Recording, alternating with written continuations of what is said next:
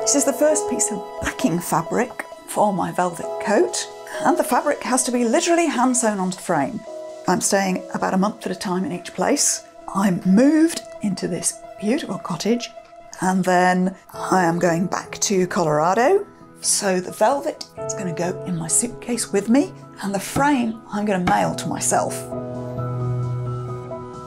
You can see now why there was a strange seam in the velvet down here on the original coat. That is parallel to the centre front edge. So these pieces here fit perfectly on my embroidery frame. I just need to attach the first piece of velvet onto here and we can get started.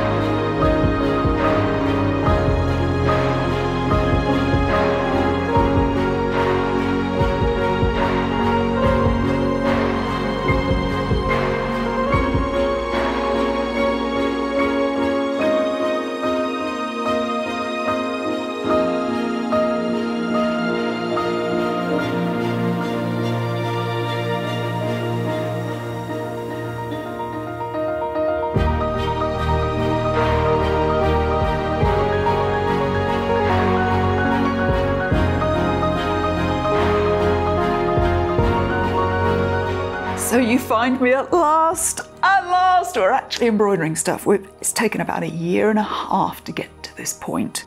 And uh, believe me, I was excited and relieved as you are to get to this point.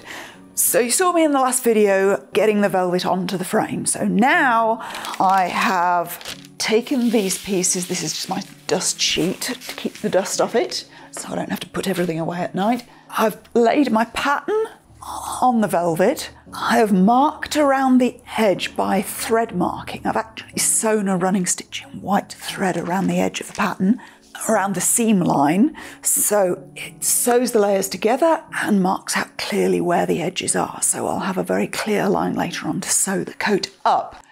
I did use chalk in one place, but basically I've just gone around the edge. I just pinned the pattern down and just went around the edge.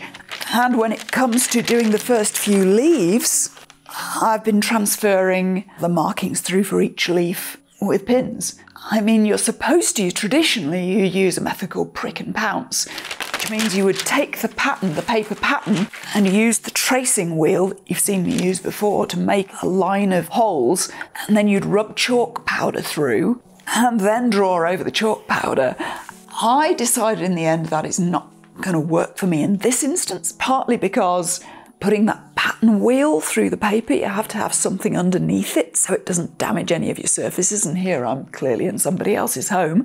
So uh, it was like, uh, do I go to Home Depot and buy cork boards or something? Then I just have to carry them around with me. So, how do you know, it's messy, and is the chalk going to mark the velvet? And what about the nap? Is the nap going to move where the chalk is? It, it just felt like a messy option for velvet and a messy option for my situation traveling like this. So I've marked around the edge. So far, I believe I've noticed that with this pattern, seems like by marking the leaves one by one and doing the leaves, they kind of map out where the stems are and where the flowers are. This isn't a super geometric or symmetrical pattern. It's quite organic. So, although I've drawn out the pattern and I'm trying to do it as precisely as I can, it's flowers, it's leaves. It doesn't have to be perfectly you know, aligned in every place. So I'm using them more as a guide, and that means I can be a little bit loose with them. So I'm doing the leaves first, and then I'm kind of going to do the stems in between just to follow along where the leaves are. The leaves are going to map out the pattern for me. So that's the method so far. It seems to be going well so far. I'm loving actually the way these leaves are coming out because stitch by stitch, I'm trying to make them move and look three dimensional and have life. I'm an amateur embroiderer, but I'm trying to, to do this so it isn't just like leaf, leaf, leaf, and make it look like it has some life. So some of these, they kind of take on a life of their own as I try to curve them around in the same shape as the original ones. So sometimes I've noticed there's an element of surrender with this, with embroidery. When you're sewing a garment together, you've got to do it very precisely on the seam line, do it right. I feel like with this, there's been more of a sense of surrender, as in, if I'm supposed to curve a leaf around to this point here, this is where it ends, and it just naturally, stitch by stitch, starts to curve a bit further that way. I'm not stressing out about it. I'm kind of surrendering to it and going, well, this is my leaf.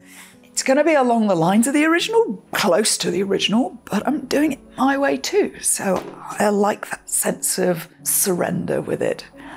I had a, a message here from Feridad on Instagram as I was posting pictures as I'm going with these first few leaves. Feridad said, I have to ask, were the first few leaves utterly terrifying or incredibly satisfying to stitch, or both? They were not terrifying at all. Once I actually mapped out the shape of the pieces, you know, the first stitches were in, so now I've got the pieces mapped out. It's much easier to do the leaves on them because I've got the shape in place. You know, it's like doing that first cut in the fabric. I've got stitches in white, I've got the pieces of the coat mapped out. So it's actually been quite easy to do this and so satisfying, not scary at all, just I'm just in a state of joy because I finally, after a year and a half planning this project and mapping it out, and making the pattern and checking the pattern and then making the mock up and all of it, finally I get to actually do the embroidery. So I'm just full of a real sort of gratitude and joy. I was willing to do the work to get to this place where I've now got a pattern I'm sure of. I don't have to sit here worrying like, oh, I hope this comes out right when it's done. I know it's going to come out right. I've got the pieces the right shape. I've got them mapped out on the fabric and I know what I'm doing. And it's just because of all that preparation, I'm able to have the joy now of just doing stitch by stitch and knowing it's going to come out right because I've done the prep work. It's very, very satisfying to come to that point. It's the gift of doing something with embroidery that's plants is it doesn't have to be perfectly aligned with the pattern. So that's a lot of fun. We talked in the last video about my routine and how I was feeling like I was having trouble finding the time because, oh, my business needs me. So I started to think about routine a bit more. I had a project I did about 14 years ago where there was a huge amount of embroidery, an oak leaf dress with just oak leaves and branches all over it. And I was very successful that project. I did it in plenty of time for the deadline I had. And I was working on that with a very, very rigid routine. I was working five hours every morning, 7.30 till 12.30. I had this very rigid routine that fit very well into my lifestyle at the time. So because my partner at the time was going out at 7.30 in the morning to work, I was able to start at 7.30, be ready when she left, and then you know, off I went until 12.30. It just worked, and it worked to be in that very formal routine. This time, I'm trying to do the same and it hasn't been working. So every time I found as I started this month, as soon as I moved into this place, I would find, okay, yes, I'm going to do two hours tomorrow morning. You know, my business is bigger than it used to be. I can't do five hours every morning, but two hours, maybe I can get away with that. okay, two hours from nine o'clock tomorrow morning, I'm going to be working on my embroidery. And then somehow it wouldn't happen. I would be pottering about. I would be procrastinating. Sometimes I would just sleep in. And every time in that first week or so, I was just kind of collapsing into that space that I'd created in order to do this. Over and over again, I'd just collapse into that two hours and just rest. And then I guess it occurred to me that, hmm, maybe I shouldn't be beating myself up about this and saying, no, tomorrow, tomorrow, I will be at nine o'clock, I will be embroidering. Maybe I actually just needed to rest. Maybe my body was telling me I needed to rest. So I just let myself rest for as long as I needed to. I admit it's been a big couple of months, the moving and the business stuff. There's been so much going on. It was like, okay, maybe I need to, if my body is just collapsing into that space every morning, maybe that means I need rest and I just need to surrender to that and give myself what I need instead of sort of my mind and my ego being, yes, we're going to do this this time. Maybe my body knows better. Maybe my heart knows better. So I started collapsing into that space. And sure enough, after about a week, boom, I was up at half past four in the morning, which isn't normal, but now I'm finding I do have the energy and the space to do it. So there's a theme coming out of here of surrender. Surrendering to how the embroidery is going to look, surrendering to how it's going to turn out, surrendering to what I need so that my heart can be in this space and so that I'm not just leading with my head.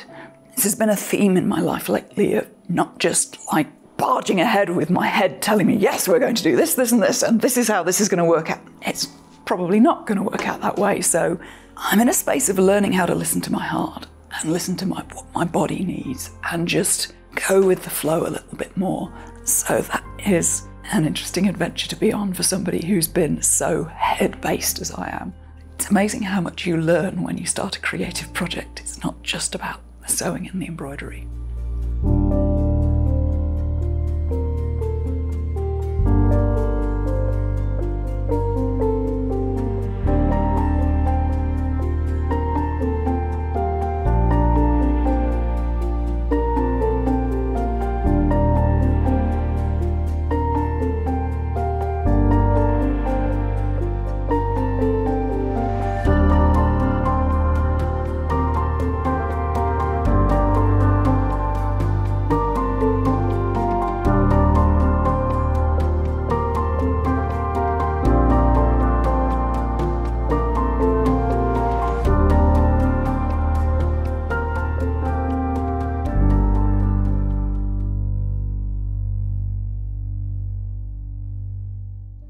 Important thing I need to do to make maximum progress on this embroidery next month is to put together an unshakable sewing practice. What I mean by that is a reliable ritual that makes it really easy for me to get to this chair and actually work on this project really regularly. Now, I actually taught a workshop on how to do this a couple of years ago, and now I need to revisit it and take my own advice. So, when I do that, I'm going to share I'm going to teach that class online again this coming month. It's going to be free, so you can join in and learn with me and make your sewing into a practice that you spend time on regularly without guilt. I want to really help us all ensure that our most cherished projects actually get done without needing like a huge deadline stressing us out and breathing down our necks. We live in a very busy, distracted world now, and I think we owe it to ourselves to find real, actual strategies to get off our addictive phones, which are really addictive now, genuinely addictive. Stop just constantly putting our projects onto the back burner and make and finish more of the real clothes that we dream about so we can actually enjoy wearing them. If that sounds interesting to you, if you're with me and you'd like to take part, the link to the sign up for that free class is up here and in the description below and I'll put a link at the end of this video as well. And by the way, if you're watching this video later, there should still be a free class coming up at that link, but it might be on a different subject. So click the link anyway to find out what the current class is. We really want to start doing more free classes at Foundations Revealed to be a bit more accessible and give a bit more back. So click the link if you'd like to join us for that first class about how to build an actual sewing practice so you are actually doing your sewing regularly and getting stuff done. And I will see you there.